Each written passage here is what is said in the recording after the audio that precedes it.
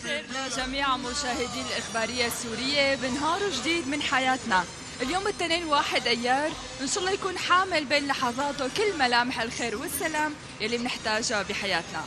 صباحنا اليوم بيحمل تحية للعمال بعيدهم ومنخص بالمعايدة العمل السوري اللبنة الأولى بمرحلة إعادة الأعمار ويلي بيوقف بصف واحد إلى جانب الجيش العربي السوري حماة الديار يلي منوجه لهم التحية الدائمة مع كل مطلع شمس. من أحدى المنشآت يلي شهدت على الإصرار وإرادة الحياة لدى السوريين. وبتنتج رغيف الخبز اللي هو أكيد عنوان الحياة. ولما نحكي عن رغيف الخبز السوري بنكون عم نحكي عن شيء بيجمع الأسرة السورية. وهالشيء أكيد جسد مقاومة وإرادة للحياة لدى السوريين على امتداد سنوات الحرب. صباحنا خير لليوم وأكيد غير من المخبز الآلي بمشروع دمر. ولكل عمال سوريا كل عام وأنتم بألف خير. كل عام وانت بخير نور. كل عام وأنتم يسعد بخير صباحك. يسعد صباحك وصباح جميع مشاهدي الإخبارية السورية. صباح الخير لكل العمال السوريين. اليوم بنطل بحلقة استثنائية من برنامج صباحنا غير. موعدنا بيتجدد معكم من دمشق عاصمة الياسمين. ليكون اليوم حامل معه رائحة الخبز.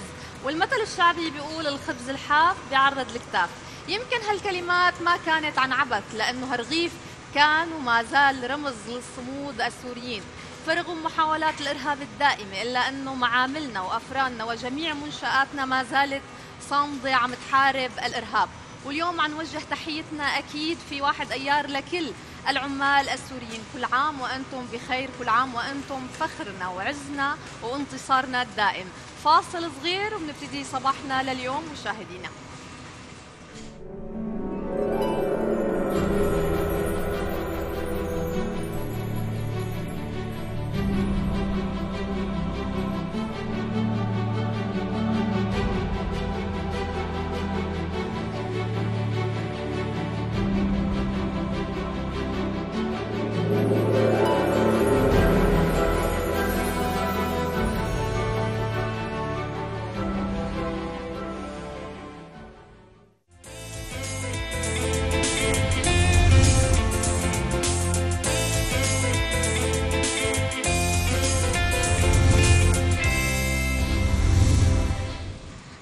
الأول من أيار هو اليوم العالمي لعيد العمال. خلونا سوا نتعرف على حكاية هاليوم ضمن هالتقرير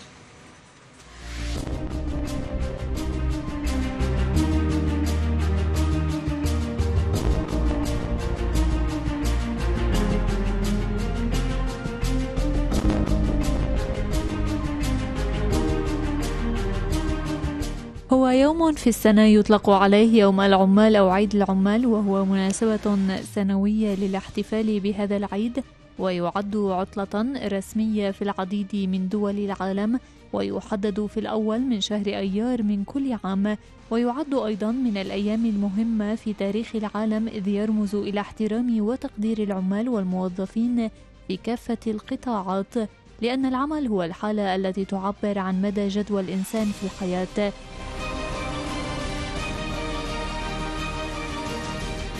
ففي العمل تحقيق للذات في المقام الأول وفي نفس الوقت نفع للوطن. لذا يكرم العمال في هذا اليوم لمساهمتهم الفعالة في نهوض مجتمعهم فاليد التي لا تعمل لا تستطيع جلب قوت يومها والعيش في ظل عالم أصبح الحصول فيه على لقمة العيش ليس بالأمر السهل.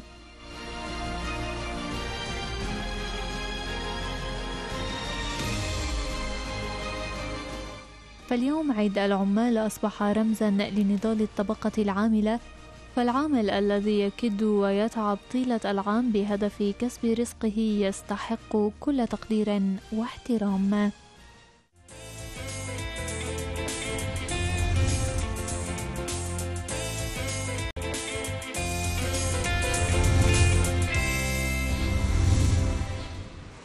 أريج الصمود الأسطوري للشعب العربي السوري خلال السنوات الست الماضية من الحرب العدوانية على سوريا كانت بفضل سواعد وخبرات الطبقة العاملة المنتجة أكيد نور والطبقة يلي شكلت بعمق انتماء رديفا حقيقيا للجيش العربي السوري بتصديه البطولة ومقاومته للإرهاب بمختلف أشكاله. محافظة حمص تهدي التحية للطبقة العاملة على امتداد ساحات الوطن.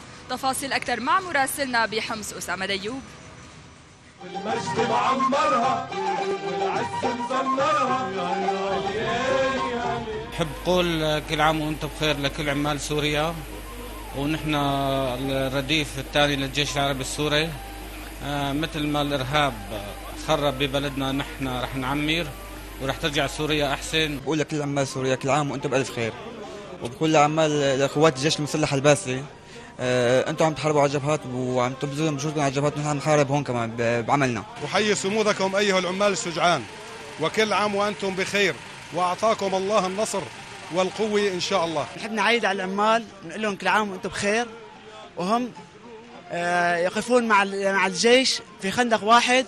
بعد القضاء على الارهاب سيبنون الوطن. لازم نبني بسو... بسواعدنا لازم نبني سوريا ال- الحضارية لازم نرجع نعمرها من أول وجديد.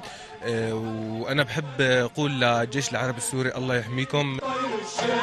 نزرع حبك يا بلاد ولم محبوب زرعنا تلالك يا بلاد نعاد رفاقنا العمال بهالمناسبة اللي عم يدافعوا يد بيد مع الجيش العربي السوري. حقيقة الجيش العربي السوري عم يدافع بسلاحه بالخطوط الأمامية وكل عامل ورا مكنته كل أستاذ بمدرسته كل آه، أي عامل حقيقة هو عم عم يدافع وعم يجاهد بعمله بمثابرته بمتابعته بذهابه حتى الطالب بذهابه إلى مدرسته وعم يكافح وعم آه، كل إنسان بمكان عمله هو حقيقة عم يدافع عن هالوطن. حيي جميع العمال في الجمهورية العربية السورية هؤلاء الجنود البواسل الذين يقومون بمعركة البناء والصبر يدا بيد مع الجيش العربي السوري على ساحات التحرير وقهر هؤلاء الإرهابيين التكفيريين والنصر حليفنا بإذن الله. زرعنا يا الجو الهادي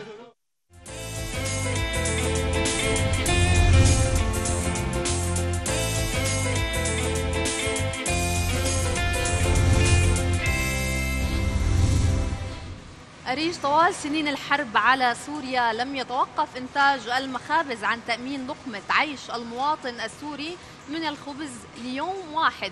ولم تختلف جودته بين يوم وآخر بل على العكس كانت جميع الجهود متضافرة للحفاظ عليه. يمكن كان في إشاعات كثيره على مواقع التواصل الاجتماعي تناولت موضوع الخبز وامكانيه تراجع إنتاجه أو حتى ارتفاع سعره، إلا أن الواقع أثبت عكس ذلك. يوما بعد يوم، واليوم نحن بهذا المخبز ومع عماله رح نضيء أكثر على الموضوع وأكيد بيصيرنا انه نرحب بالسيد معن خضور مدير فرع مخابز دمشق، يسعد صباحك أستاذ صباح معن. الخير يا كل عام أستاذ صباح. بخير يا كل رب عام وأنتم بخير ينعاد عليكم بالصحة والسلامة. يسعد صباحك.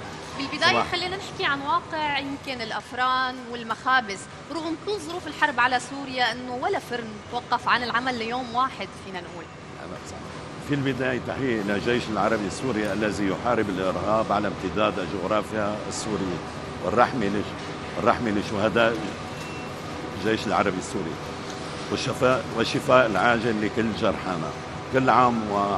وعمال سوريا بألف خير كل عام وكل عام بخير للعاملين في المخابز الذين يواصلون عملهم ليل نهار من أجل تأمين الخبز لكل عائلة سورية كل عام كل عام بخير لسيد الوطن الرئيس دكتور بشار الأسد آه، مما لا شك فيه أن الشركة العامة للمخابز من أكثر الشركات العامة تضررا منذ بداية الأزمة حيث واجه قطاع المخابز تحديات تحديات كبيرة مع بدء هذه الحرب المنهجة على الشعب السوري. ويمكن الإرهاب حاول كثير الإرهاب حاول كثير حاول- يستهدف أكيد، جميع. المنشآت الرسمية.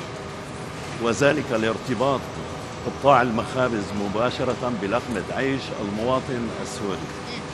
فكان رغيف الخبز هو خط أحمر بالنسبة للحكومة والعائلة السورية على حد سواء هلا تعرفي منذ بداية الأزمة والعصابات الإرهابية تقوم بحرب ممنهجة على هذا القطاع على الدولة السورية بشكل عام وقطاع المخابز بشكل خاص. فقامت بتدمير البنى التحتية من مع من معامل الخميرة والصوامع والمطاحن. ولكن بفضل الدعم المقدم لنا من الحكومة والمتابعة الحسيسة لنا ولعمالنا الذين كانوا يوصلون الليل بالنهار من أجل تأمين مادة الخبز لكل مواطن في مدينة دمشق يمكن اليوم نحن طالعين بحلقة استثنائية من المخبز الآلي في مشروع دمر. خلينا نحكي عن واقع هيدا الفرن. هلا بالنسبة هذا. بالنسبة لمخبز دمر هو أحد المخابز المهمة والذي يعمل بثلاث خطوط إنتاج. بطاقة إنتاجية يوميا تقدر 45 طن خبز يوميا يتم توزيع هذا الخبز. تعرف ضمن الأحياء الموجودة في منطقة مشروع دمر لا نحن آه، يعني أستاذ معنا في كتير إشاعات مثل ما ذكرنا دائما بتطيل بتطل رغيف الخبز. اليوم كمان من إحدى الإشاعات كانت بالفترة الأخيرة إنه في نقص يمكن بالمستلزمات بإنتاج رغيف الخبز. كيف عم تتصدوا لهالإشاعات؟ هذه عبارة عن شائعات مستلزمات الإنتاج متوفرة بشكل كامل من دقيق وخميرة وملح. وهذا طبعا خلال الأزمة وفترة السنوات السابقة كانوا كانت تقوم العصابات الإرهابية بمحاولة مثل ما قلت لك إنه تدمير معامل الخميرة والصوامع والمطاحن حتى تدمير المخابز المحيطة بمدينة دمشق.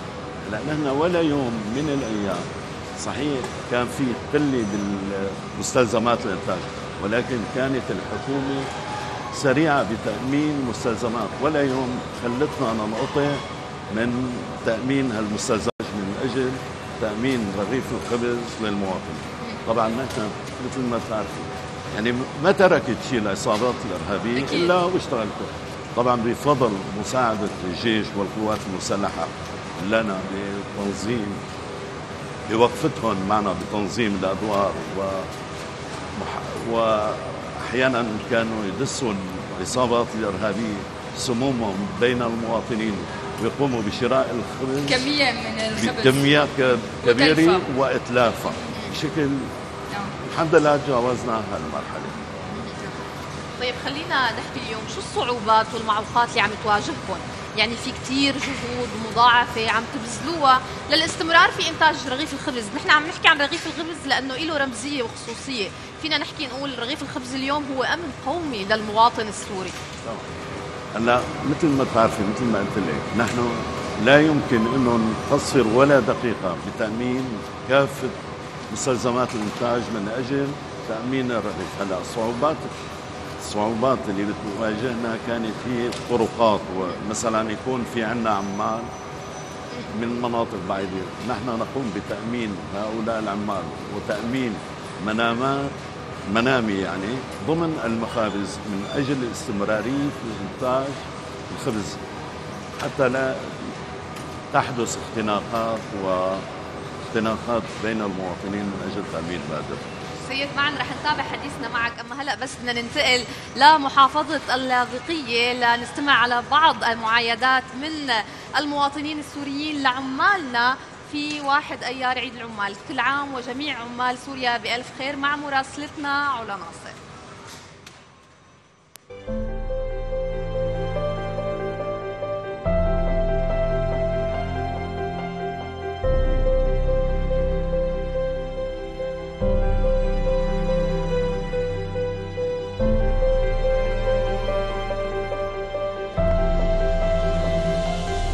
عيدوا على سوريا بالأمان وبالخير لكل الناس وشوي يتفرجوا عنهم. للعمال إن شاء الله بصير وضعهم أحسن وكل عام وهن بألف خير إن شاء الله. عمال اللي عم يشتغلوا لهالوطن ويتعبوا ويقدموا وكل عام وأنتم بخير. نحن بنشكرهم على جهودهم الكافية والله يعطيهم العافية والله يقويهم. ونحن سوا عم نعمرها لسوريا نحو الأحسن بإذن الله. مو بس عمال ونشكر الجيش العربي السوري كمان يلي هو هو العامل الرئيسي لحتى الآن أنا وياك عم نحكي هلا مع بعض. يعني عيد العمال عيد عظيم يعني. العمال عم يكملوا مع الجيش العربي السوري في بناء الوطن. يعني بننسى مثلا ما بننسى عمال الكهرباء عمال النفط عمال كل الشركات يعني عم يقدموا يعني وعم يضحوا. راح لأنه شهداء يعني. كل عام وأنت بخير لكل العمال يعني. عمال هن بنات حقيقيين في يعني أداة من أدوات بناء المجتمع بشكل حقيقي. ونحن بنقول لهم كل عام وأنتم بخير وإن شاء الله سواعدكم وإيمانكم بهذا البلد وبإمكانياتكم تقدروا توقفوا هذا البلد مع الجيش كأداة رديفة فعالة مع الطلبة. الجيش على الجبهة والعامل محله بس عم بيتابع يعني. عم يبذل كمان بمكان آخر. عم بيضحي يعني نفس التضحية بحيث إنه ما يتعطل شيء بالوطن كله. يد العاملة هن اللي عم يشتغلوا وبيعملوا الله يعطيهم العافية. كل عام وأنتم بخير والله يمدهم بعافيتهم ويطورهم في هالبلد.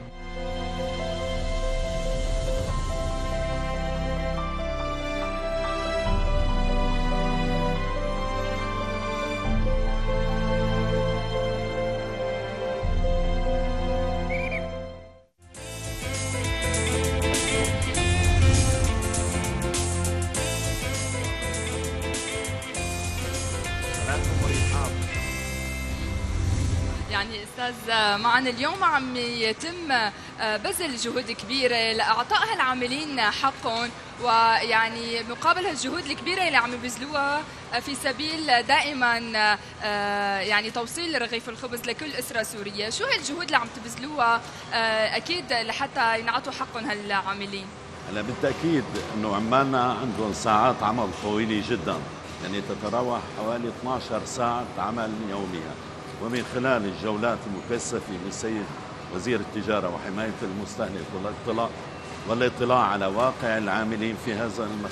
في المخابز وجد أنه جميع نسبة معينة من العمال غير مثبتين فقام بإجراء عقود واختب... بإجراء عقود سنوية لهم من أجل الحصول على مكرمة آه، غلاء المعيشة مكرمة السيد الرئيس بغلاء المعيشة اللي هي البالغة 11500 ليرة وأعطاهم حقوقهم بالإضافة إلى جولات والمفاجأة عندما يجد مثلا السيد الوزير إنه الخبز جيد وتعب هؤلاء العمال كان يقوم بصرف مكافآت شهرية تقدر ب 5000 ليرة شهرية لأنه عمالنا بتعرفي عملهم طويل يعني ليل نهار.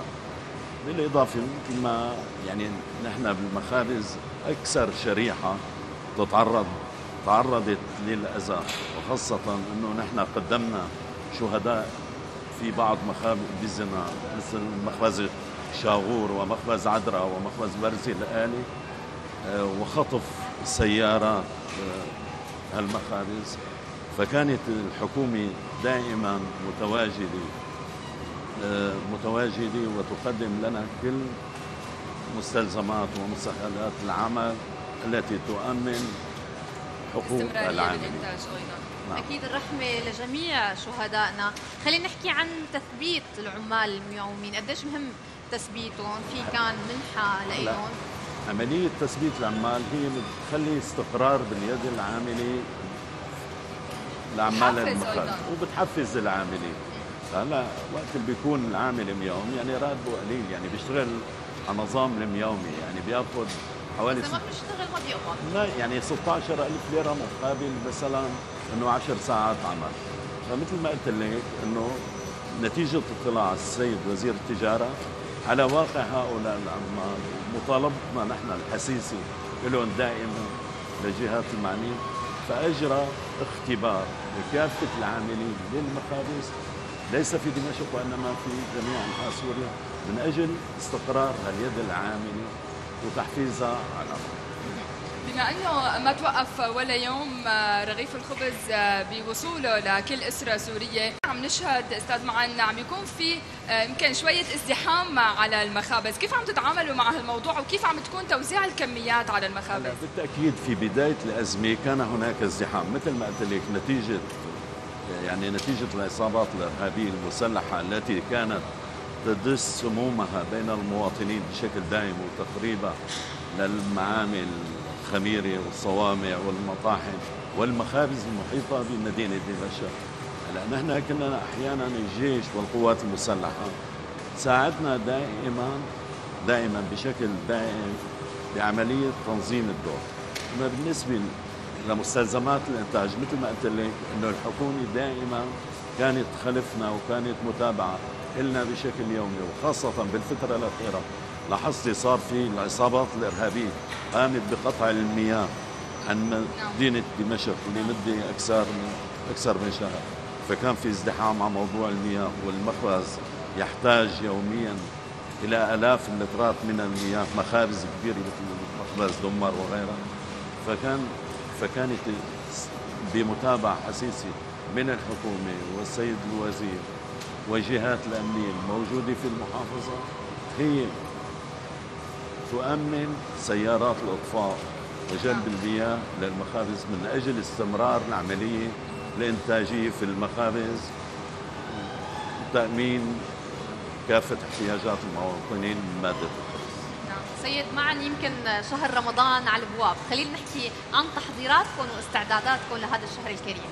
لأن إحنا بنطمن الأخوة المواطنين بالنسبة لشهر رمضان المبارك أنه نحن ليس لدينا عطل في شهر رمضان نهائيا. والمادة متوفرة. مستلزمات مستلزمات الإنتاج متوفرة حاليا.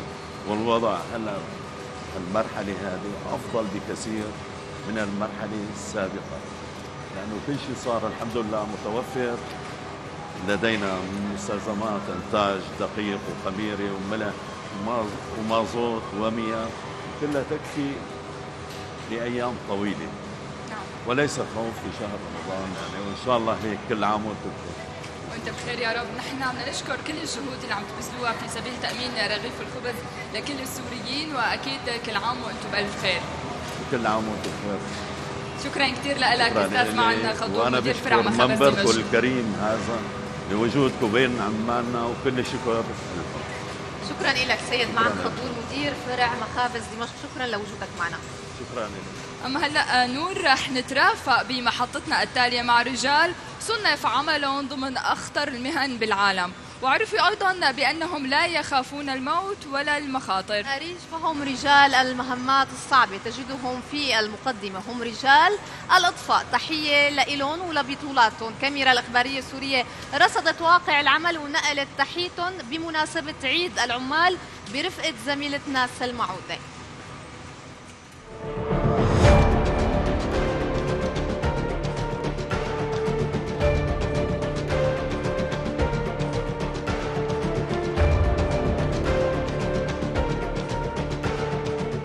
رجال لا يهبون المخاطر هم الجنود المجهولون. رجال الإطفاء لنتعرف سوية على آلية عملهم.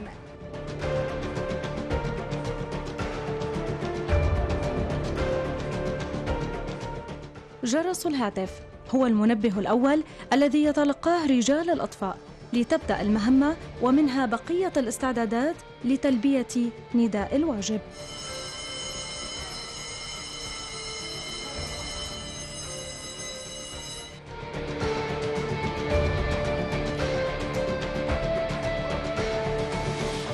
على عاتق رجال الأطفاء مهمات آه، كثيرة ومنها هي إطفاء الحريق وإنقاذ الحريق. طبعا كل جندي بال- بالزمرة له مهامه. فنحن عندنا الجندي الأول والجندي الثاني والجندي الثالث. كل جندي يعرف مهام- مهامه في أثناء الحريق. ونحن في في السلم وفي الحرب. لا لا نتقاعس عن أي مهمة توكل إلينا. عملنا يقوم على حماية الأرواح والممتلكات العامة والخاصة. وهلأ نحن بوضعنا الراهن بزمن الأزمة الصعبة اللي عايشة فيها سوريا. بلدنا الغالي. نحن جنبا إلى جنب وكتف وكتفا إلى كتف آه، مع الجيش العربي السوري في كل مجالات عمله وما يحتاجه ما تحتاجه البلد وهذه البلد. ونحن أرواحنا كلها تفيد لها البلد. أنا أول شيء بدي آه، جهز الآلية لبلش ضخ المي للحريق. وفي حال اعتازوا مواد ثانية مثل الفوم أو اجهزه البودرة في حال في نقص بالعناصر اضطروا إني أنا أساعد مثلا إني أوصل معهم خراطيم أوصل أجهزة بودرة. كلها أنا ممكن إنه أساعد فيها يعني. وعلى الرغم من خطورة عملهم والخطورة المضافة حاليا على عاتقهم في ظل الاعتداءات الإرهابية التي تتعرض لها بلدنا. بأحد الأيام ال- الساعة 10 مساء تم تم استدعائنا إلى منطقة بقدسية وكان فيها حريق ناشب آه، من افتعال المجموعات المسلحة. فكنا يد بيد مع الجيش العربي السوري. فكان هذا الحريق هو بيحاول إنه يلتهم مناطق متواجد فيها الحواجز والجيش. فنحن دائما موجودين معهم يعني. فهذه المنطقة كان فيها هي منطقة ألغام. فرحنا نحن أنا والآمر. فبالوقت اللي كنا نحن عم نحاول نطفي الحريق وكانت عتم ومساء وإنه على إنه الألغام كلها منشاله ولا بالصدفة يعني بحال القرفصاء أنا وصديقي محمد آه، دعس هو على اللغم وأنا كنت مقارفص آه، بجنبه عم مد الخرطوم. فوقت اللي هو انفجر اللغم هو فورا راح تجره فورا. أنا بحالة القرفصاء كنت موطى هيك اللغم عم مد الخرطوم. بالانفجار هو إجره انضربت بعيد عني متر ونص. وأنا ضربت بإيدي اللغم وبوشي هون. الوطن وحمايته هو الهاجس الأول في تفاصيل عملهم اليومي ورؤيته سالما هي الغاية الأسمى. هذا يعني أقل من الواجب. يعني نحن سوريا أمنا وسوريا بلدنا. ومن الواجب الواحد على طول يرضي أمه ويرضي بلده. ونحن عايشين بهالبلد وإن شاء الله كلياتنا فدا لهالبلد. وبدون أي تلكؤ ونحن مع هالبلد بإذن الله لآخر نقطة دم بحياتنا. فالحمد لله شو ما صار يصير نحن رح نضل نضل نبقى إيد وحدة. وقلب واحد وإن شاء الله متصلين بعفو الله. بقول لهم كل عام وأنتم بخير جميعا وقائد الوطن بخير وبتمنى الكل يضلوا إيد واحدة ويضلوا متماسكين لحتى ننتهي من الأزمة على خير وسلام إن شاء الله.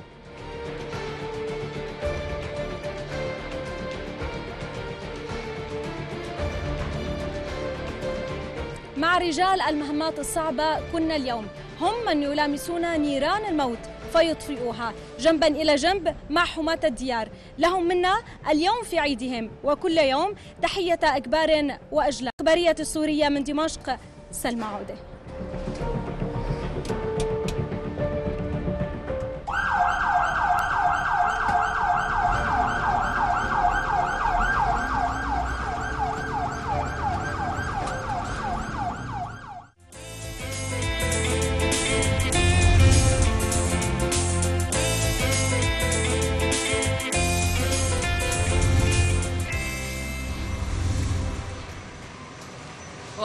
ومن رجال يتحدون المخاطر إلى وق... ال- الذين وقفوا خلف آلاتهم إلى في القطاعات المختلفة متحدين كل الظروف من مواقع عملهم ومتمسكين أكيد بهالعمل. أريج الطبقة العاملة الكادحة التي صمدت في وجه الإرهاب تحتفل اليوم بعيدة.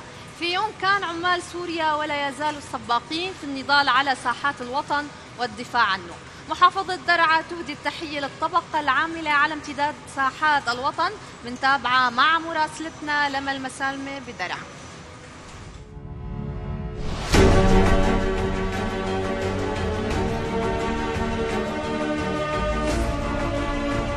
والله نحن هلا بالوقت الحالي إنه عم نبذل أقصى ما عندنا يعني مشان نامن الخبز المواطنين. يعني عم عم نشتغل تقريبا شيء 24 ساعة. بس كرمال إنه نأمن الخبز للمواطنين.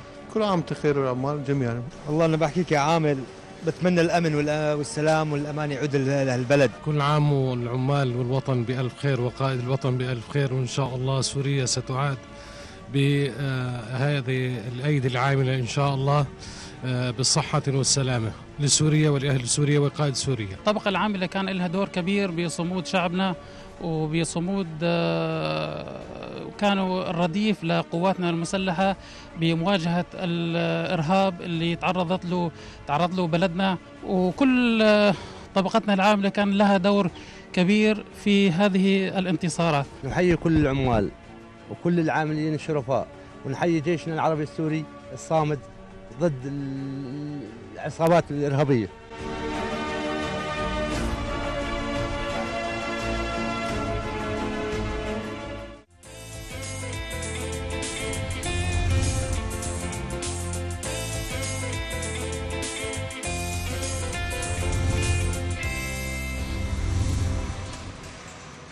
صباحنا لليوم بيحمل تحية للعمال وسلام لأيدي الحرفيين السوريين يلي بقيت أمينة على سر الصناعات اليدوية اللي امتازت بها سوريا عبر الزمن ودمشق تحديدا.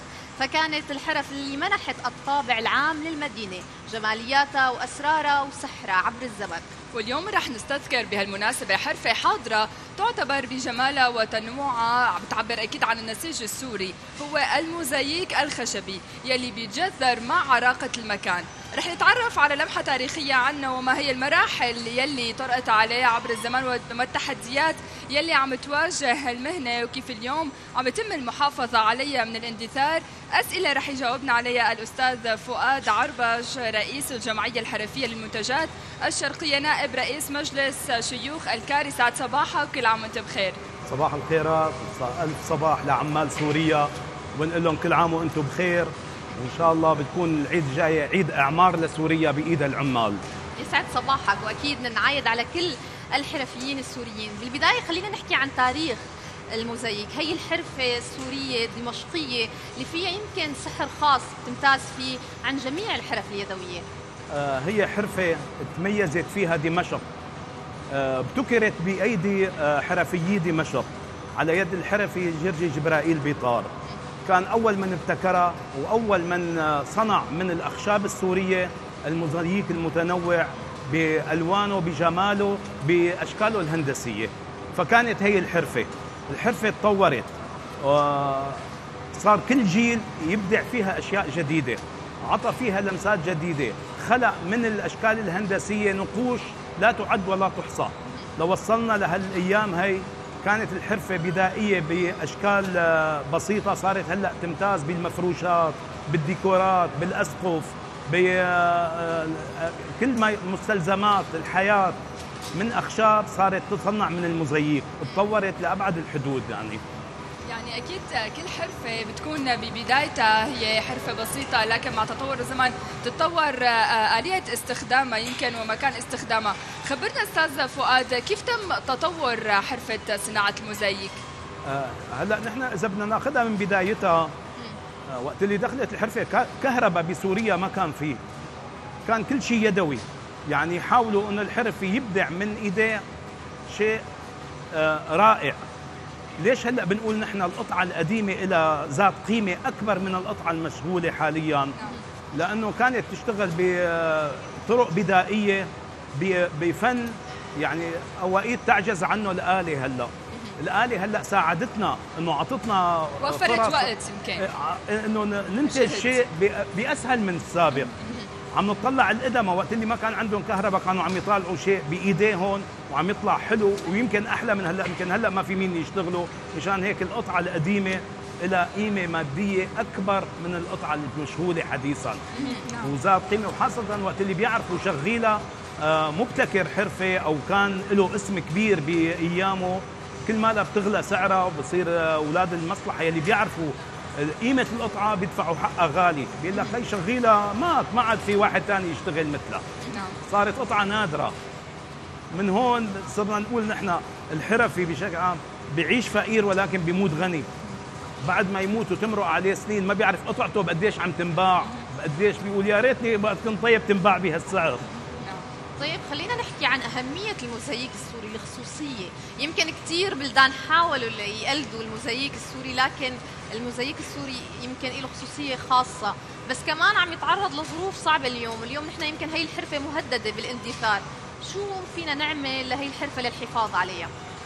آه. هلأ نحن قبل كل شيء الموزاييك آه، تقليده حاولوا تزويره. كثير ونحن دورنا بالجمعية قمعنا هالتزوير هذا وحافظنا على الحرفة وعلى تراثها. تزوير الحرفة قاموا صاروا يطبعوه على كرتون. يصوروه بصور جميلة. صار في مكانات تصوير حديثة. طالعت صورة أجمل من القطعة ذاتها. يطبعوها على كرتون ويلزقوها. نحن وقت اللي جمعية اكتشفنا هالشيء هذا قمنا بقمعه بطرقنا الخاصة حسب المصادر اللي معنية بذلك. معناها من الأسواق وعملنا تعهد على عم يشتغل لهالقطعة أنه ما يعود يشتغلها بحياته نعم. وبالفعل وقفت. هلا ما عاد موجود منها. آه صفي هلا نحن كيف الوقت هذا قديش صعب عليها؟ الوقت صعب إنه في كثير من أهل الحرفة تهجروا. في من أهل الحرفة سكر محلاتهم في منهم آه هلا مثلا آه، بوضع محرج اليد العاملة خفت وهون دور الجمعيه يمكن بيبرز أكثر للحفاظ على هي الحرفة. نحن الجمعية كانت لها دور كبير. إذا بدي لك إنه هالأزمة كانت من أصعب الظروف على الجمعية ولكن الجمعية كانت بدورها من أنشط أعمالها. نحن عملنا من خلال الأزمة اللي من المعارض الداخلية والخارجية على مستوى سوريا وعلى مستوى العالم. وأخذنا جوائز عالمية بمشاركاتنا بالمعارض الحرف اليدوية. يعني اليوم المعارض هي المشاركة بالمعارض الخارجية وأيضا الدولية يعني قديش لها أهمية بتعريف الحضارة السورية بالتاريخ السوري بالحرف والمهن السورية بالخارج وخاصة يعني بظل الظروف اللي عم نمر فيها. يمكن في كثير من البلدان عندهم تصورات أنه يمكن سوريا ما عاد عندها استمرارية بهالحرف لكن أكيد سوريا مستمرة بتقديم الأجمل بكل الحرف الموجودة فيها. نعم مثل ما تفضلتي في شيء اللي عم يستغربوه وقت اللي عم نطلع خارج سوريا ونجا إنه أنتم عم يقولوا لنا هلا نحن هالسنة بسنة 2015 شاركنا بمعرض هند الدولي وأخذت أنا الجائزة الأولى عن حرفة المزيف والجائزة الثانية أخذها زميلي بنحاس وهلا بال 2017 كمان شاركنا بمعرض هند الدولي وأخذت سوريا الجائزة الأولى بالحرف اليدوية. آه شاركنا بإيران عم يستغربوا يقولوا إنه أنتم بسوريا عندكم مشكلة. وعم تشتغلوا هالشغل وعم تشاركوا بالمعارض الدوليه كان في إقبال كثير كبير على الجناح السوري في كتير. معرض الهند. كان إقبال شديد. م. ورائع. حتى الحرف تبعنا كانت مميزة. حرفتنا ما حدا قدر يقلدها خارج سوريا. استصعبوا. ما عرفوا بدايتها كيف بتبلش. هون الصعوبة بالحرفة. إنه نحن طريقة صنع الموزاييك بيبدأ من الحرف السوري بطريقة معينة. هن ما عم يقدروا يكشفوا هالسر ليقدروا يعملوا النقشة أو النجمة أو الرسمة اللي نحن بنشتغلها. انحصرت بأراضي دمشق بسوريا هالحرفة. ما طلعت برات سوريا يعني جهود كثيرة عم تبذلوها وعم عم يبذلها كل الحرفيين السوريين وأيضا رح ننتقل للجهود الكثيرة والعطاء اللامتناهي الذين يقدمه أصحاب البدلات الزرقاء للحفاظ على مدننا جميلة بهية. فرغم الصعوبات الكثيرة ما زالوا يعملون ولا يعرفون عيد للعمال سوى أنه يوم عمل آخر. أفلا يستحقون منا أن نخفف اعبائهم قليلا ونحافظ معهم على نظافة شوارعنا. عمال بلا عيد تقرير لازم الاثنين من عمار.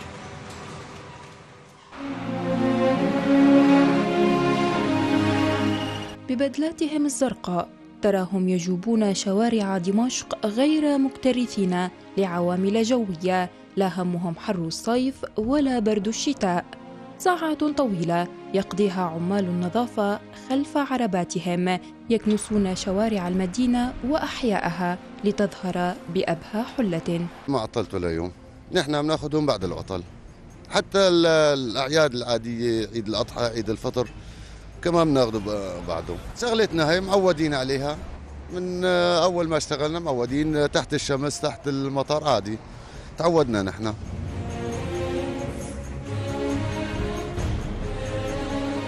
يمكن ما حد بيتعب مثلنا بالبلد كله. عامل نظافي شو بدي شو يعني بدي أخليك عنه؟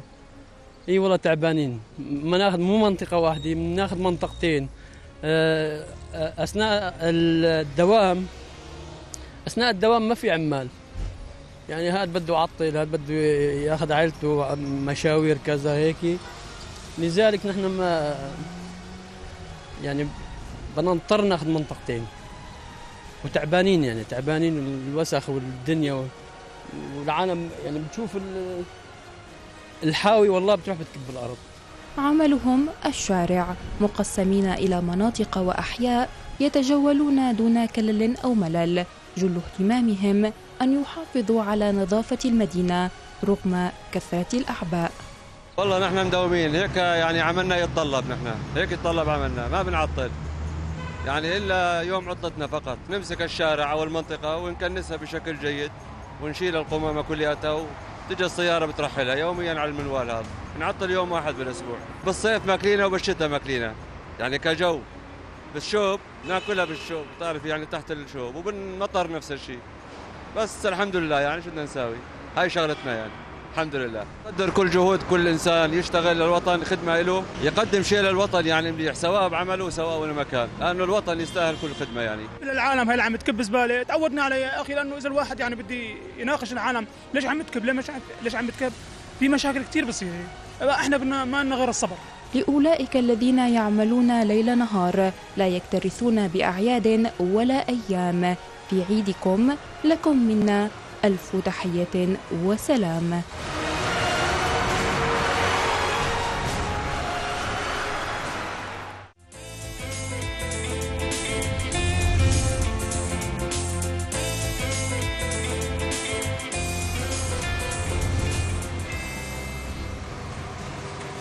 سيد فؤاد خلينا نحكي كيف بيتم صناعة الموزاييك السوري. كنا عم نحكي تحت الهواء عن أنواع الخشب في أنواع عديدة للخشب. خلينا نحكي عنها. الموزاييك هلا هو اللي اعتمد الشيء الأساسي تعدد الأخشاب بغوطه دمشق وتمايزها عن بعض بالألوان. إنه إذا بناخذ مثلا هلا هي العلبة ما بعرف إذا الكاميرا أخذتها مزبوط.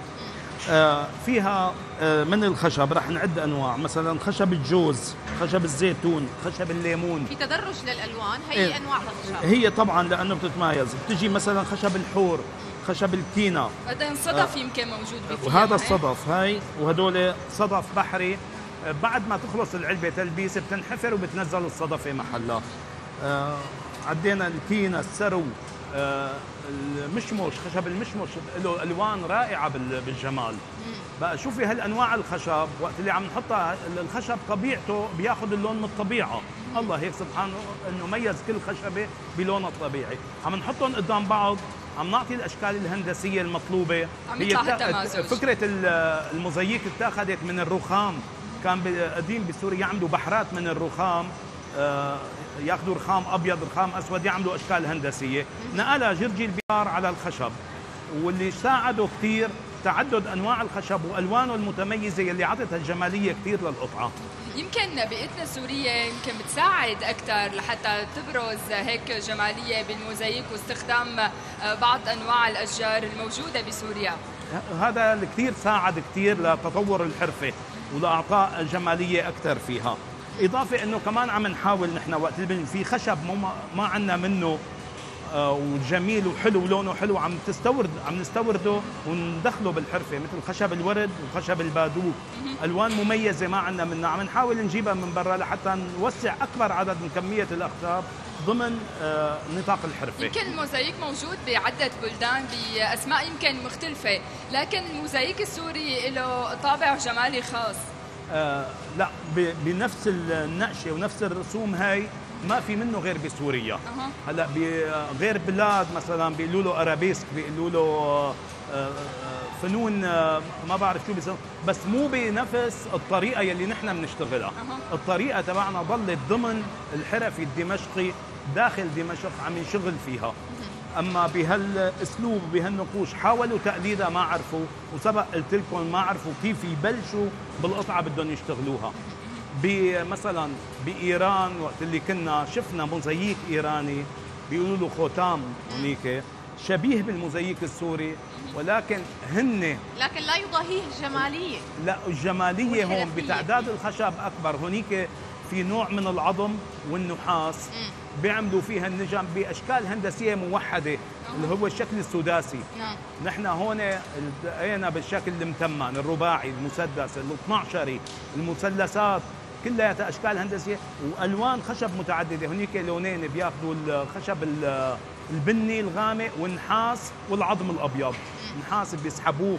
بطرق آه، آلية بيعطي أشكال هندسية بيجمعوه تطلع بتطلع على القصر تاير نقشتها رائعة وحلوة ولكن كلها مطلوسة مكررات قد لكن الموزاييك السوري بيتميز بال... بالخشب أكثر بال- في مجال أكثر وأوسع وبعدين هون مفسرة أكثر بشوف القطعة الواحد عم يفسر النجمة شو شكلها. نعم. واضحة هنيك كلها. مثل بعض. إيه هنيك كلها نفس نقشه متكررة. سيد فؤاد حضرتك نائب رئيس شيوخ الكار. خلينا نحكي عن شيوخ الكار اليوم. دورهم في الحفاظ على الحرف اليدوية السورية. هذا شيوخ الكار نحن أخذناها من آه، البيئة الشامية. إذا ما بعرف بتلاحظوا بالم- بالمسلسلات الشامية وكذا بتنزل كلمة شيخ كار. كانت شيخ الكار قصة كبيرة إنه آه، من أساس المجتمع السوري لحل مشاكل الحرفيين ولحل مشاكل أهل البلد كذا كانوا يلجؤوا للشيخ كار. شيخ كار هو كبير الحرفة. معناه إنه كبير بالحرفة. نحن ضمن نظام الاتحاد الحرفيين أنظمة الاتحاد والجمعية دخلنا اسم شيخ الكار عملنا مجلس رعاه الاتحاد العام الحرفيين هو مجلس شيوخ الكار. مجلس شيوخ هو مثل لقب شرف لهالحرفي وقت اللي عم يمضي بحرفته مثلا 20 30 سنة عم يعارك مع الحرفي عم يعطي إرشادات عم يحل مشاكل عم يوجه عم يعلم وعم عم يورثها لأولاده. إيه، إنه هي مثل رتبة شرف إنه كبرناه فيها إنه أنت شيخ كار إنه كبير بالحرفة.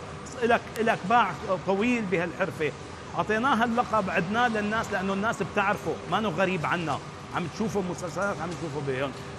بقى اتحاد عام الحرفيين أنشأ من خلال مكتب التراث بالاتحاد العام مجلس اسمه مجلس شيوخ الكار. كنا نحن الجمعية تبعنا وبدمشق وريف دمشق آه، أطلقوا على العدد الكبير من الشيوخ الكار من خلال هالمعارض يلي قاموا فيها وشاركوا فيها. آه، منحوا شهادات شيوخ كار من آه، رئيس الاتحاد العام ووزير السياحة واعتمدوا كشيوخ كار بالبلد. آه، أسس هالمجلس أخذ دعم كبير من القيادة الكفرية.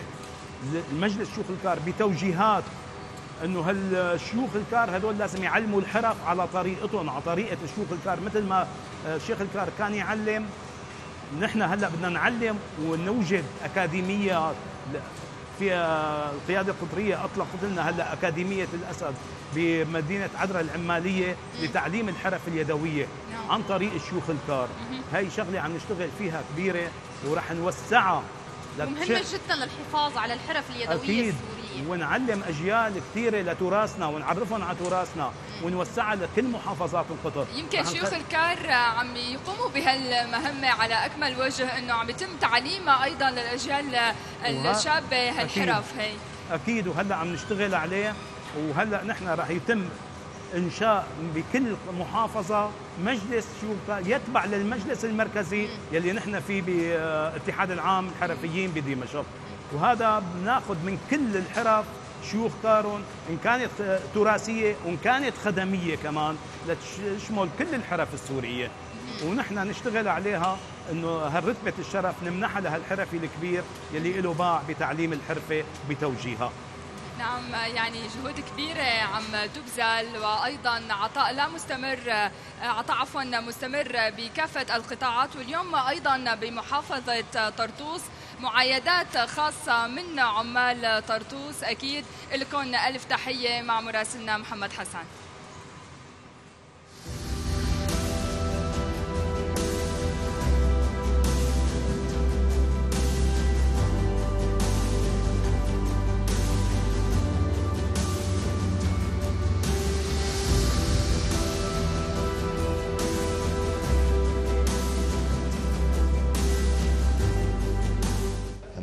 أثبته عمال سوريا في هذه الحرب الشرسة التي تشن على بلدنا الغالي. سوريا أنهم مقاومون بكل معنى الكلمة. فعمال حلب الذين ثبتوا وقاوموا الإرهاب وثبتوا في مصانعهم ومعاملهم كما العمال في ريف دمشق وفي كل مناطق سوريا ثبتوا في معاملهم ومصانعهم وأدوا واجبهم الوطني فإنهم يستحقون منا كل الاحترام والمحبة في هذه الظروف الصعبة وفي ظل هذه الحرب الكونية التي تشن علينا يقوم عمالنا بواجباتهم في ظروف صعبة وفي ظروف استثنائية في جميع قطاعات آه، الاقتصادية والإدارية والاجتماعية. في هذه المناسبة نغتنم هذا اليوم لنقول لعمالنا كل عام وأنتم بألف خير. أثبت عمال سوريا أنهم جنود حقيقيون خلف آلاتهم وفي مصانعهم وعلى امتداد الساحة السورية وبالتالي ساهموا في إعادة دوران عجلة الإنتاج وفي زيادة هذا الإنتاج لأن هذا الإنتاج وزيادته يساهم في صمود سوريا وفي آه ويكون آه يعني عامل في هذا الصمود وفي دحر الإرهاب اليوم العمال هم جنود. خلف الجيش العربي السوري يد بيد حتى بناء سوريا من جديد وبناء ما تهدم كل عام وعمال سوريا بألف خير.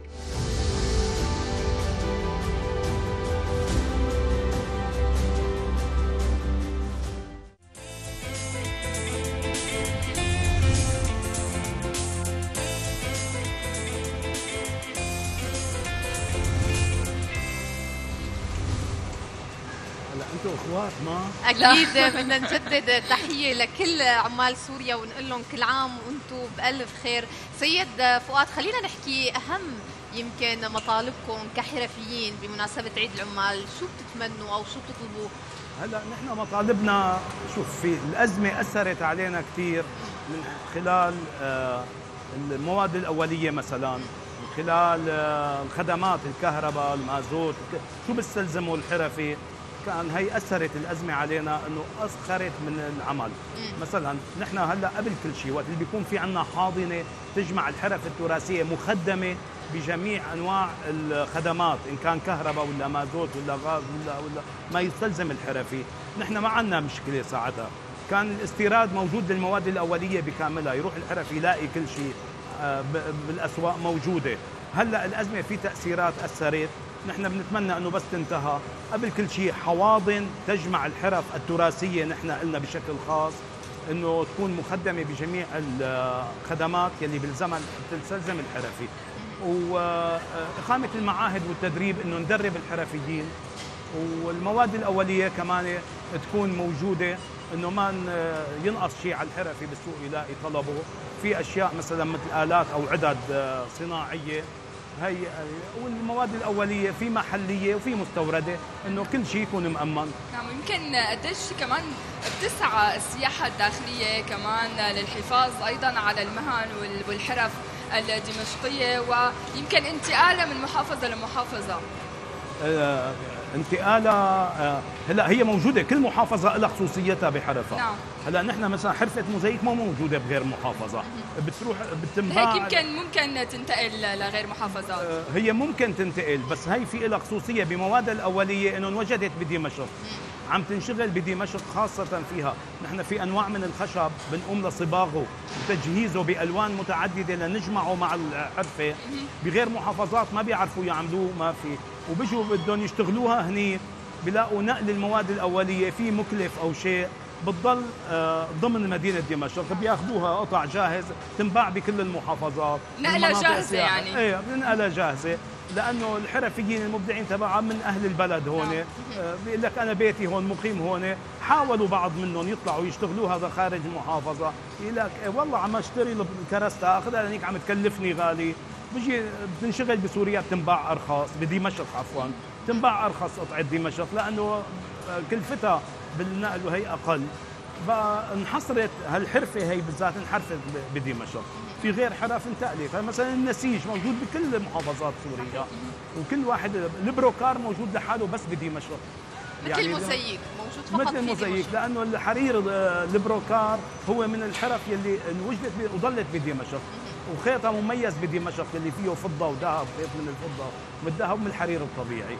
نحن بدنا نشكر كل الجهود أكيد يلي عم تبذلوها للحفاظ على الحرف والمهن السورية. شكرا كثير لك أستاذ فؤاد عربش رئيس الجمعية الحرفية للمنتجات الشرقية ونائب رئيس مجلس شيوخ الكارو كل عام وانت بخير. وأنتم بألف خير شكرا كثير لكم.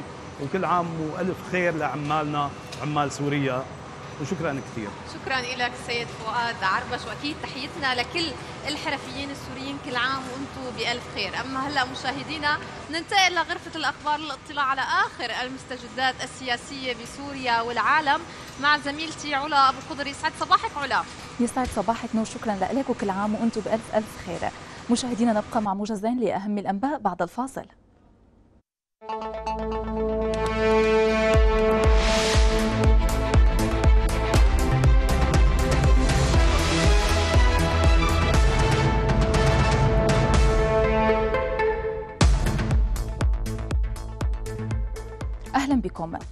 أكد مصدر عسكري أن وحدات من الجيش العربي السوري قضت على أكثر من 19 إرهابيا من تنظيم داعش في مدينة دير الزور.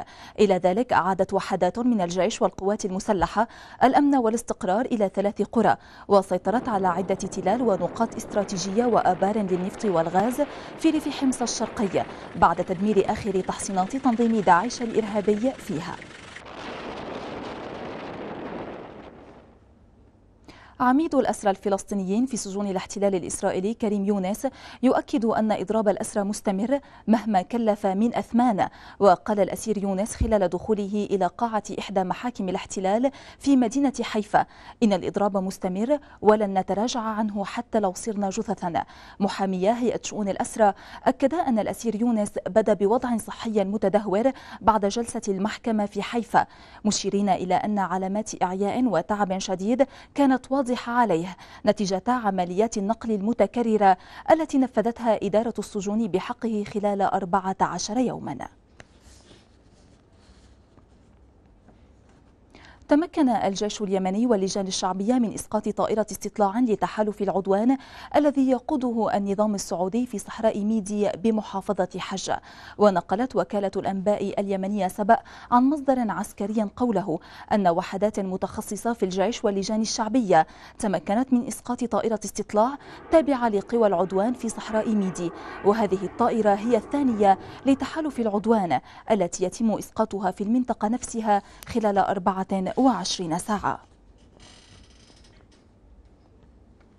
قضت القوات المصرية على إرهابيين اثنين في شمال سيناء وأشار بيان لوزارة الدفاع المصرية إلى أنه تم القضاء على الإرهابيين على يد إحدى الدوريات بالجيش الثاني الميداني.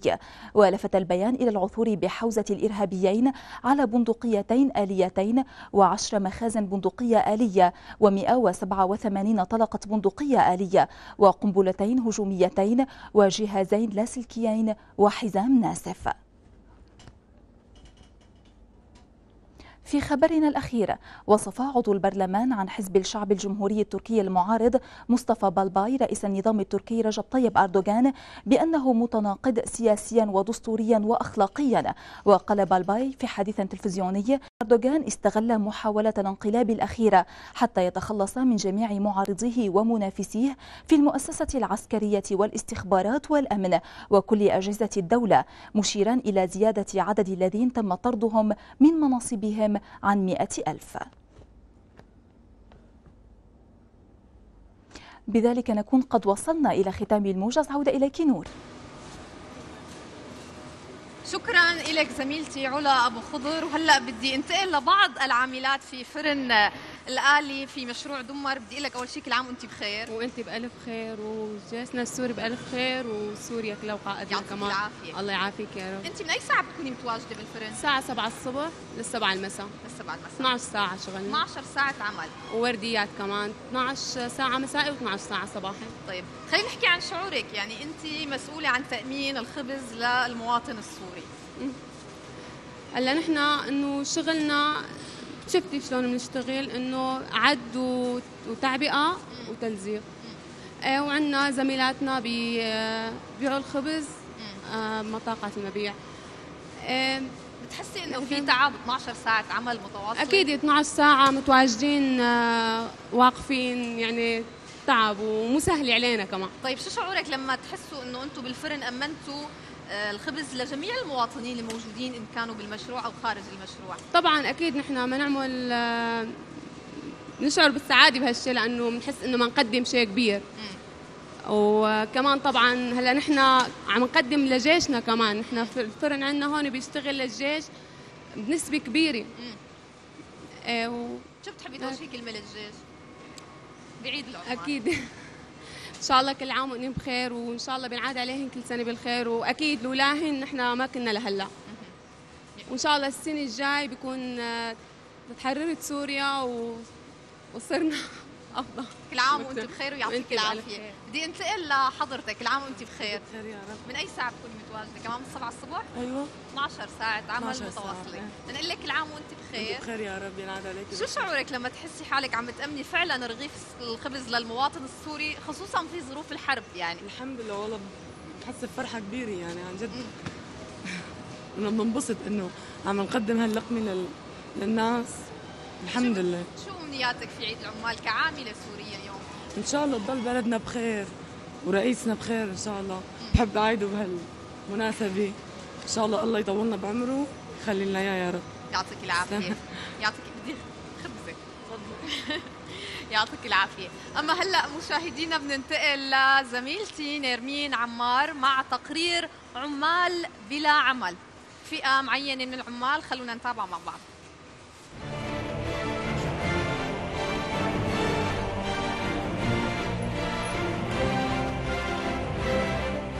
هنا في ساحة باب الجابية تراهم يفترشون الأرصفة ساعات طويلة تحت أشعة الشمس ينتظرون هبة السماء علها تحمل لهم بشائر رزقة صغيرة يعودون بها إلى منازلهم آخر النهار مكللين برغيف خبز. أحيانا يعني يجي الشغل مرة واحدة دفعة واحدة وأحيانا يعني بأسبوع نشتغل نهار أو نهارين. نقابه هون ما في نقابه يعني. بس أحيانا مثل لو نروح نطلع على صب الباطن نواجه صعوبة شوي من البلدية يمنعونا يعني. يأخذ هوايانا. كل من يعيش يعني بتعبه وعرق جبينه. والله نشيل أغراض يعني شلون بضاعة. وصار لنا شي ثلاث اشهر ويصير له صار شهرين وهكذا في عيد العمال لا كعكة لهم. أجبرتهم ظروف الحياة القاسية السعي ليل نهار محاطين بمخاطر وصعوبات للعمل. هلا نحن بنوقف هون بالساحه بيجي اي زبون مثلا بنروح معه وقلت لك رزق ربنا يعني أحيانا مثلا بنشتغل ب 1000 أحيانا ب 2000 أحيانا بخمسة أحيانا ما بنشتغل بيومين ثلاثة. ما بعطل أنا لا جمعة ولا عيد ولا شيء. لأن أول شغلة عندنا التزامات أجار البيوت وهاي. وثاني شغلة العيد إن شاء الله بينعاد عليكم وعلى هالبلد وعلى قائد هالبلد وعلى سوريا. وراقول لك شغلة نحن هالأزمة هي أثرت علينا. نحن كنا عايشين ومبسوطين يعني كنا عايشين بأمان واطمئنان. والله يرجع الأمن والأمان لهالبلد. يعني هي الأزمة أثرت علينا يد العاملة. نحن ما لنا متبعين لنقابة أو شيء. يعني التأثير اللي نحن المتأثر فيها إنه إذا واحد انجرح انضرب ما في حدا يطلع علينا. شوفت عينك يعني بنقعد بالساحه هون. اشتغلنا أكلنا ما اشتغلنا ما أكلنا يعني. أهم شيء إنه يرجع الامن والأمان لهالبلد ترجع المعيشة مثل أول وأحسن إن شاء الله. يعني إذا ما اشتغلت ما بعيش. إذا ما اشتغلت وهاي ما ما باكل. هي أيد عاملة لا تكترث لأعياد ولا عطل جل اهتمامهم البحث عن أي فرصة رغم امتلاكهم المهارات والحرف الملائمة فهل من يكترث لحالهم؟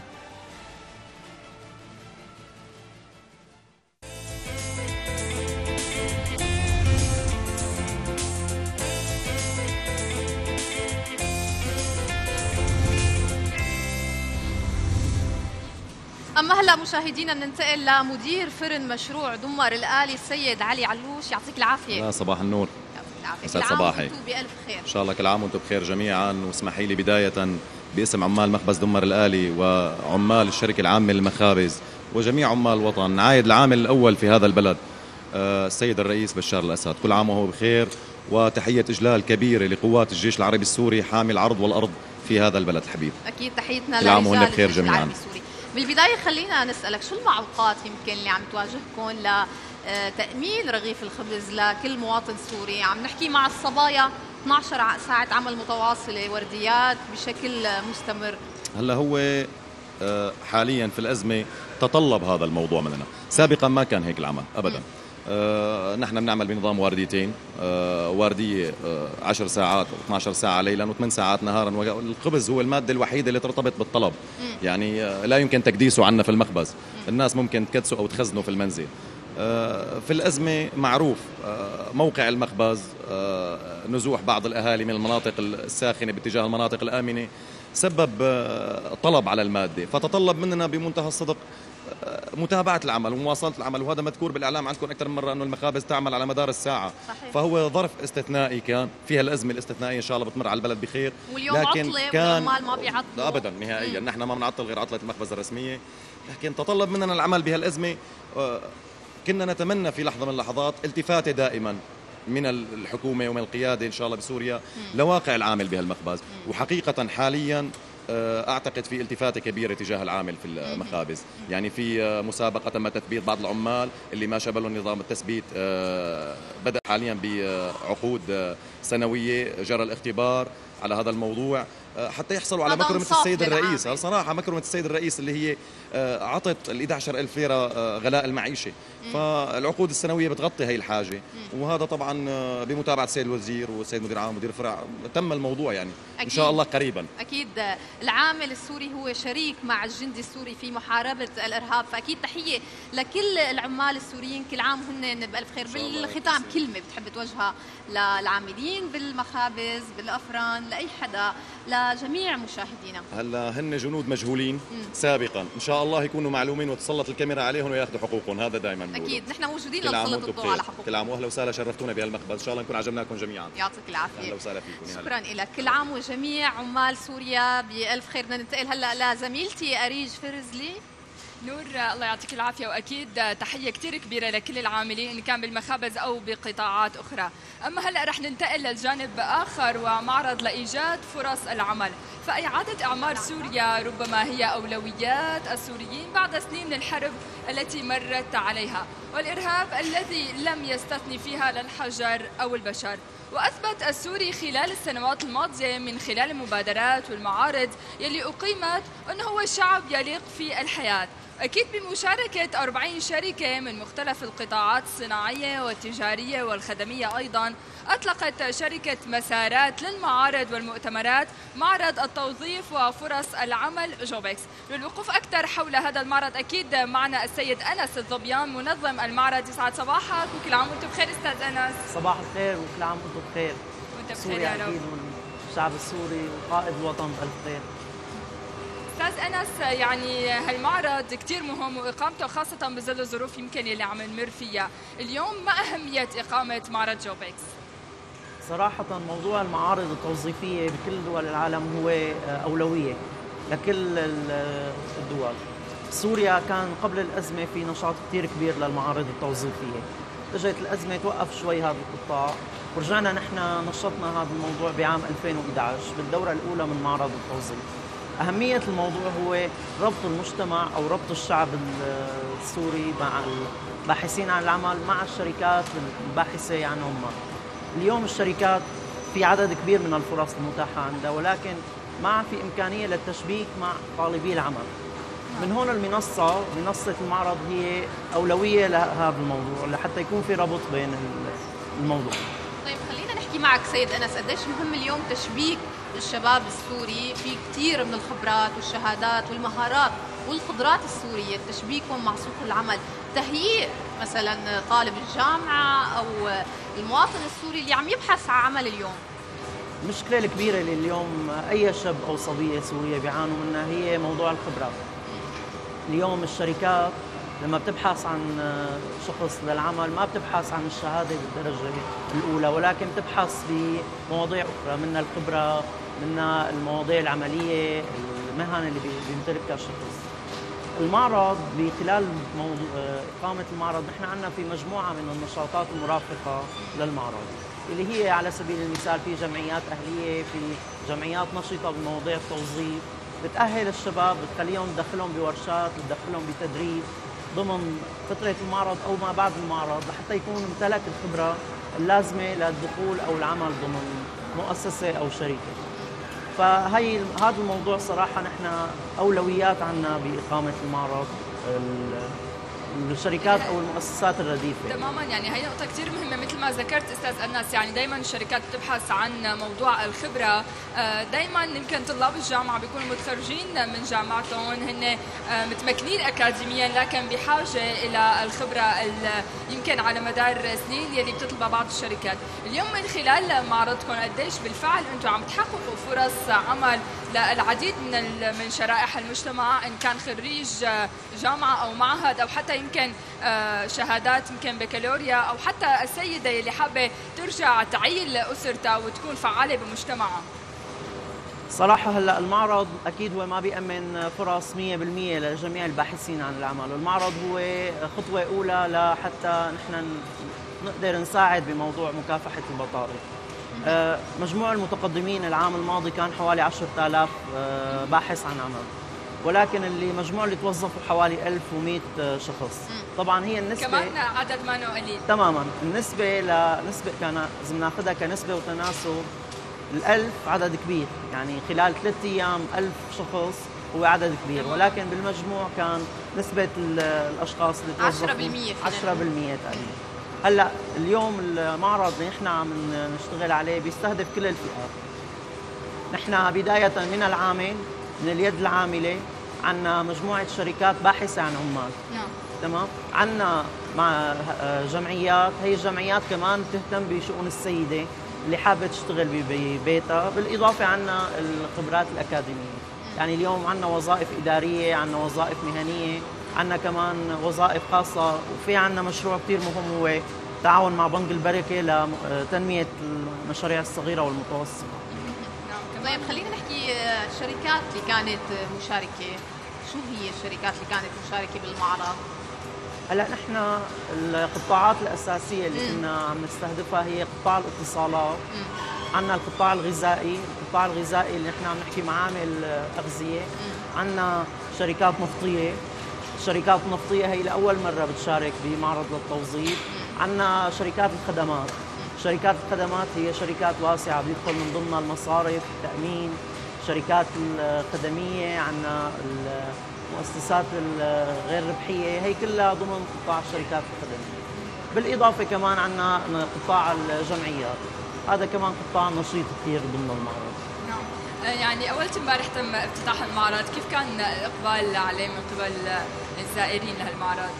هلا صراحة من الساعات الأولى للافتتاح كان في ناطرينا يمكن من سنة لسنة تماما يعني كان في شباب وصبايا عم ينتظروا الافتتاح حتى يتقدموا بالسيرة السيرة الذاتية الخاصة فيهم. الإقبال من اليوم الأول كان أكثر من رائع.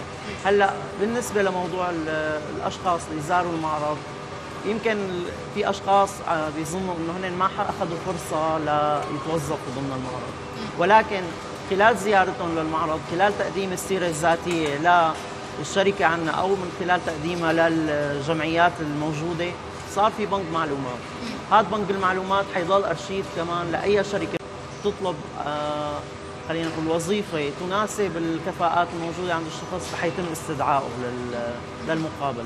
طيب أستاذ أنس حكينا تم توظيف في المعرض السابق 1100 آه، شخص تطمحوا لعدد أكبر يعني بهيدا المعرض؟ صراحة نحن دائما نبحث عن التوسع بموضوع الفرص الموجودة، نحن مشروعنا انطلق من دمشق نحن عم ندرس كمان نقل المشروع لمحافظات أخرى. اليوم المشكلة اللي تواجهنا هي قديش نسبة الفرص الموجودة عند الشركات. يعني نحن ما عم نبحث عن شركة فقط للمشاركة نحن عم نبحث عن شركة وعندها فرص حقيقية. تماما فحسب حجم الطلب بالسوق السورية نحن بيكون حجم الفرص الموجوده عندنا يمكن في ظروف اليوم استثنائية وصعبة يعني إقامة هيك معرض بهي الظروف بحالة حرب في سوريا جدا مهم. تماما. يعني مثل ما عم خبرك نحن قبل الأزمة كانوا مواضيع المعارض التوظيف نشيطة جدا. خلال فترة الأزمة اللي شجع على إعادة هي المعارض هو نقص الكادر البشري. يعني أو ضعف الكادر البشري اللي كان متواجد. صار في بحث عن كفاءات. هي الكفاءات اللي كنا عم نبحث عنها صار في من خلالها آه، تنمية لهالمشروع هذا. اليوم أستاذ أنس شو بتحب توجه يمكن كلمة لكل الشباب أو لكل شخص بحاجة للعمل اليوم عم يتابعنا ضمن حلقتنا؟ هلا صراحة هي كلمه وجهتها سابقا وهلا كمان بدي اوجهها للشباب هو ما يعتمد على الشهادة اللي هو حاصل عليها. يعني اليوم في كثير أشخاص عندهم مناصب هامة جدا عندهم وظيفة ممتازة ما كان الاعتماد على الشهادة أو المحصل العلمي. الاهتمام على الخبرة الاهتمام على آلية تقديم الشخص لنفسه.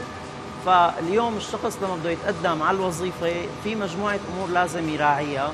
منها موضوع السيرة الذاتية بناء السيرة الذاتية بشكل قوي آه، أسلوب التقدم للوظيفة أسلوب الحوار كمان ضمن اللقاء. هذا الشيء كثير ضروري. تماما. هذا هي مجموعة عوامل بتساعد لأنه الشخص يلاقي الوظيفة المثالية له. في كثير كان نسبة أشخاص تقدموا صراحة بالمعرض بس ما كان عندهم الآلية التقديم أو آلية تقديم نفسهم بشكل صحيح. لهيك نحن وجهناهم على الجمعيات والهيئات الموجودة لتساعدهم أكثر بموضوع بناء السيرة الذاتية بشكل سليم. أنس الظبيان منظم معرض جبس نتشكرك على وجودك معنا. نتمنى لكم التوفيق على الجهود الكبيرة اللي عم تقوموا فيها. شكرا كثير لك. شكرا شكرا كثير لك. كل التوفيق لكم. شكرا. نور يعني حلقتنا الخاصة اليوم بعيد العمال وصلت لنهايتها وأكيد بنوجه تحية كثير كبيرة لعمال سوريا. بنقول لهم كل عام وأنتم بخير. أكيد هن حكاية أسطورة سطرتها إيديهم أكيد بعرق جبينهم. حلقتنا لليوم وصلت لنهايتها وأكيد نحن رح نبقى على الموعد كل يوم الساعة 9 الصبح ضمن فقرات متنوعة وضيوف من كافة الاختصاصات ضمن صباحنا غير. وأكيد نتمنى لكم بقية نهار ممتع برفقة شاشة الإخبارية السورية. أكيد أريج بدنا نعايد على جميع عمال سوريا. كل عام وأنتم بألف خير. كل عام وأنتم عماد الوطن. نعايد على جميع العمال في مخبز الفرن الآلي بمشروع دمر ضمن هي الحلقة الاستثنائية من صباحنا. غير دائما تحيتنا الدائمة بالختام لرجال الحق رجال الجيش العربي السوري بكم. النصر يولد من جديد كل يوم. إلى اللقاء. باي باي.